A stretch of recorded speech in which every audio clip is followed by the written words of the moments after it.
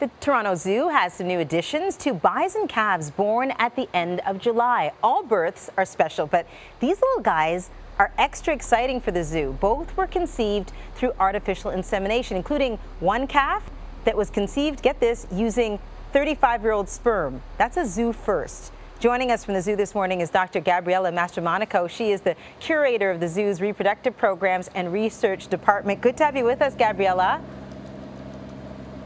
Nice to be here as well. Thank you. So tell me first and foremost how the calves are doing. They're doing great. Uh, the two of them, they're just a week apart uh, from each other, so they've found each other as playmates. Okay, so the calf uh, in which you use the 35-year-old sperm, tell us about that and the fact that this is 35-year-old sperm. Well, I mean, we're as amazed as everybody else. Uh, the fact that we've been um, keeping that sperm in, in, perpetuity in our tanks here, and we felt that the technology was at a point where we could uh, thaw the sample and try to get the living offspring. Why though? Why, why sperm that is so old? What's the benefit there? Our main goal is genetic diversity, and when you're talking about populations that are threatened and their numbers are, are not that high, then every animal counts. So uh, a sample that was frozen 35 years ago, that animal would be gone, their, their offspring might be gone, and so we're introducing very valuable genetic material back into our herd. And so this was wild sperm, not captive sperm, right? What, what's the difference, and why did you go with the wild?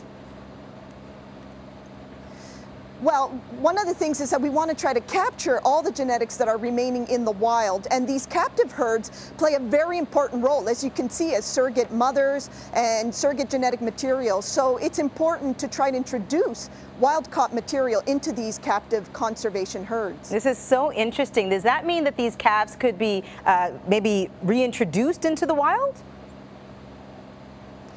Perhaps not at this time, but the long-term goal for all species is that we have a, a, very sustainable captive breeding population so that one day we can reintroduce them back into the wild. So what's the status of the wood bison right now in Canada?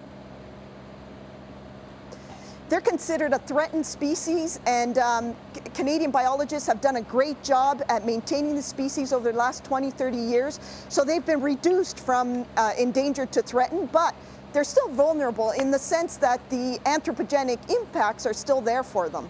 It's great that they've been reduced, though. And right now, we're, we're calling them little guys, but do they have names yet? That's a great question. They're little guys to us as yeah. well. Uh, no, they haven't been named. They're special enough, they'll get great names once the time comes. I love this. This is such a learning curve for, for everybody, but want to know, because you've been doing this for quite a while, how exciting this was for you and your team to not just conceive all of this, but to get it done you know, uh, some days we can't believe it ourselves, but um, if everyone can understand the picture, this is over 10 years of work of, of, a group of people, large teams coming together, veterinarians, nutritionists, us, and reproductive programs. And we've just kind of been chipping away at the technology. And last year was a bit of a breakthrough where we felt that we could take this leap forward. And you most certainly did in grand fashion. Uh, Gabriela, we're going to keep in touch, okay? Let us know if you decide on names, okay? Excellent, not a problem. Take good care.